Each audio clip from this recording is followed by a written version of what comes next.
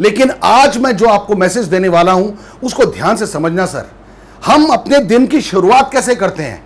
Colgate से भाई साहब हम अपना दांत साफ़ करते हैं जिलेट से हम शेव करते हैं पेयर सोप से हम नहाते हैं ओल्ड स्पाइस को हम शेव करने के बाद लगाते हैं लिवाइस की हम जीन्स पहनते हैं मैगी खाते हैं नेस कैफ़े पीते हैं सोनी देखते हैं वोडाफोन यूज़ करते हैं रेबैन का चश्मा पहनते हैं रेडो और रोलेक्स जैसी घड़ियाँ पहनते हैं टोयोटा और हुंडाई जैसी गाड़ियाँ चलाते हैं एप्पल का फ़ोन यूज़ करते हैं एप्पल का कंप्यूटर यूज़ करते हैं मैकडोनल्ड से बर्गर खाते हैं केएफसी से चिकन खाते हैं डोमिनोज से बीवी अपने घर के लिए, अपनी बीवी के लिए पिज्जा पैक करा के लेके जाते हैं जॉनी वॉकर और शिवास रीगल की दारू पीते हैं अमेजोन से सामान खरीदते हैं और दिवाली पे चाइना की लड़ियाँ लगाते हैं और सवाल करते हैं कि भारतीय रुपया डॉलर के मुकाबले नीचे क्यों जा रहा है?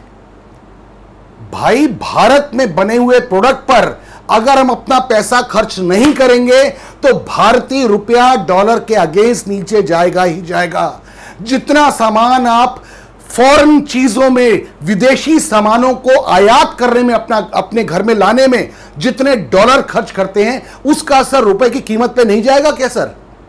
एक बार अपने घर में, अपने देश में बने हुए प्रोडक्ट्स को यूज़ करना शुरू कीजिए, फिर देखिए भारतीय रुपए की कीमत क्या होती है। सिर्फ़ 15 अगस्त में झंडा उठा के भारत माता की जय, भारत माता की जय बोलने से आप देशभक्त नहीं बन जाएँगे। सच्ची देशभक्ति इसमें है कि हम अपने देश में बने हुए प्रोडक्ट्स को ज़्यादा से ज़्यादा यूज़ करें और ज़्यादा से ज़्यादा प्रोडक्ट्स को अपने दोस्तों को रिकमेंड करें। तभी हम सच्चे देशभक्त बन पाएँगे, तभी हमारी देशभक्ति सच्ची होगी। नहीं तो 15 अगस्त की देशभक्ति, अकेले 15 अगस्त की देशभक्ति हमारी देशभक्ति नहीं है। और दोस्तों, मैं आपसे कहना चाहता हूँ, अगर हमने सिर्फ़ एक साल के लिए, सिर्फ़ एक साल के लिए अपने भारत में बने हुए प्रोडक्ट्स को यूज़ करना शुरू किया, आप देखेंगे भारत कैसे विश्व गुरु बनने के डायरेक्शन में आगे जाता है।